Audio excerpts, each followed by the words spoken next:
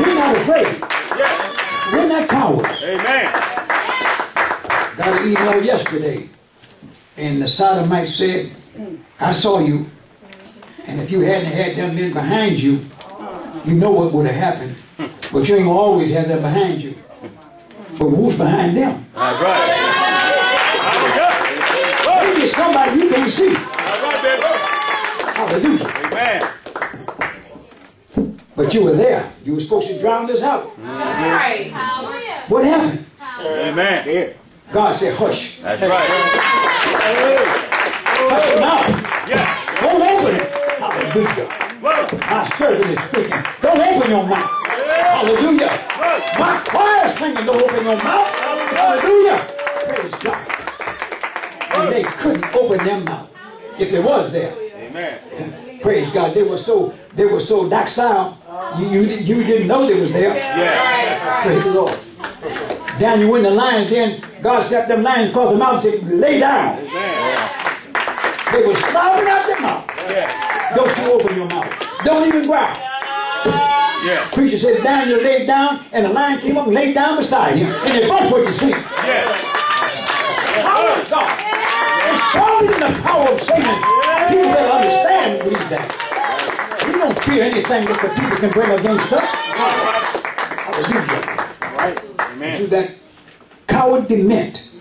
They're getting ready to raise you up and place you on a high pedestal in the Republican new formed uh, Congress that's getting ready to go forward. You wouldn't speak with me. Yes. You wouldn't come to the rally in Atlanta. And you probably won't come to the rally in Charlotte. But don't hide behind your accolades Yeah. because they're simply man-made. That's right, right. And what man makes deteriorates. It's torn down. Yes. It fades away. But what God makes stands forever. Hallelujah. That's why you can't bring me down. That's why you never want to do with me. You better try to meet with me and try to get in one accord of me. Praise God. You need to come to me this time. I'm not going to you another time. Amen. Verse 27. Her princes in the midst thereof are like wolves raising the prey, to shed blood and to destroy souls, to get dishonest gain. dishonest gain. Uh, if you would put the money together of Eddie Long and T.D. Jakes, you're talking about some serious money. How did they accumulate this money? From robbing God's people, taking tithes and offerings, and then invest it in their own personal. Someone said today that uh, uh, don't bother Eddie Long because he doesn't have a church, he has a corporation. How did he get to, to have a corporation? He took the nonprofit tithes and money that people gave him to invest it in a corporation. Clever, yes, clever. But how you going to outsmart God when you stand for the judgment seat? How you going to take all that money with you when God say, it's time for you to come in now? What you going to tell the death angel when he knocks on your door? I- I- I- excuse me? They, they don't take bribes. You can't buy your way out of that. If you think I'm lying, ask Michael Jackson. Amen. See how you can see how you can buy your way out when God said enough's enough. I'm tired of it. Come on in now to judgment. Better listen to me. Amen. For princes in the midst thereof are like wolves. Raising the prey, to shed blood and to destroy souls, to get dishonest gain. Uh-huh. And our prophets have dogged them with untempered water. I, I heard not too long ago that uh, T.D. Jakes, when he goes to Africa, along with Joyce Meyers, they take money from those people.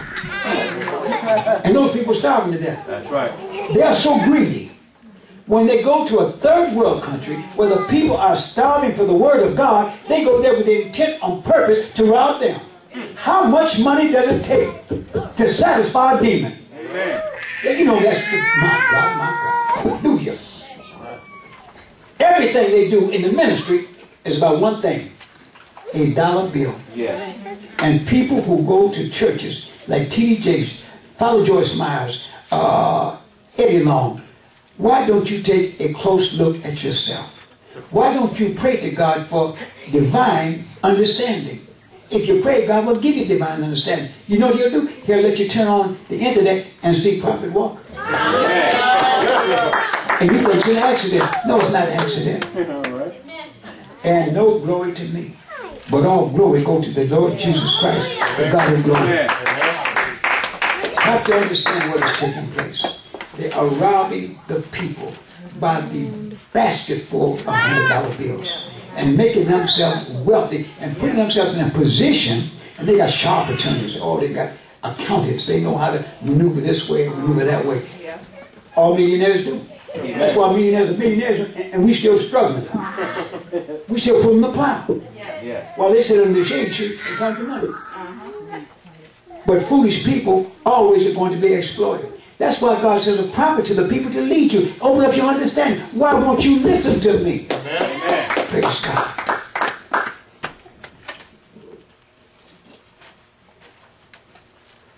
Uh, verse 29. The people of the land have used oppression and exercised robbery. Have they exercised robbery? Praise God. Mm. Is that Bible? Go. Verse 30. And I saw four men man among them that should make up the hedge and stand in the gap before me for the land, that I should Now, not destroy. God told the prophet, I looked for somebody who could help these people out of this condition. But I couldn't find none. Amen.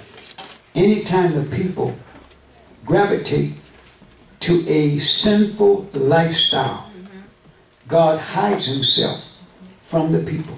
Amen. How does the scripture go? For a long time, Israel was without the true God, Yeah. without a teaching priest. Yes. But when they, in their trouble, did turn to the Lord, he was heard of them. Yes. America, you better wake up and turn back to God. And the only way you can turn back to God, you got to first stop this madness, this sodomite lesbian movement that is destroying and corrupting everything that's decent and normal. You got to stop it. Amen. Hallelujah. Praise God. Stop being afraid of this movement. Amen. Praise God. They're normal, just like, well, they're beings like you. Amen. Not normal, but they're beings like you. Praise God. They can get knocked down. That's right, bitch. Just like somebody else can get knocked down. Amen. But you got to have some backbone to stand up against it and not a politician. And I said after the event with uh, Senator DeMint, I guess he's was senator, uh, congressman, senator. It. After that episode we had last week with him, and him not wanting to meet with us, I, you know, I said it before. Now I'm going to reiterate it. I would never vote for a politician as long as I have breath in my body. That's right, brother. Not another politician will I vote for. Amen. And. I respect the Tea Party representative that came. And I- we'll do anything we can to help them. But as far as me voting for one of them devils, not on your life. Amen. Because it means nothing but a waste of time. Now if they was giving people uh, basket full of thousand dollar bills, I would tell you, yeah, go, go, vote. For whatever level they take to vote. And they take your basket full of money home because that's what they're doing to you. Amen. Hallelujah. Hallelujah. Yeah. Let's turn it around a little bit sometime. Praise God. That's right, bitch. All right. Go to TD Jakes and say, TD Jakes, I'm losing my home. Can I have about $25,000? See what they tell you. Oh, well, now, we already gave a benevolent offering, but you got it. Sell one of them uh, Bentleys. Mm-hmm. And you still got a Mercedes left. Yes. You ain't without wheels. Yes. You know why they won't? So, they, how many members they got? 30,000? Yeah. Supposing 15,000 got in line next Sunday and said, I'm about to lose my home. Well, when he look around, he might not have that mansion no more. He might not have that Learjet. He might not have that. Oh, hallelujah.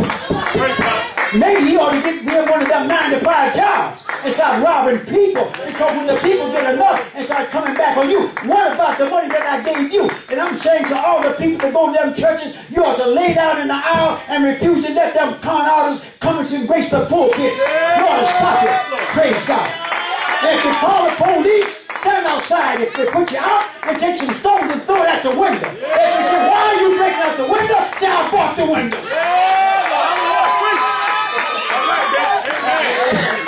That's right. Glory, hallelujah.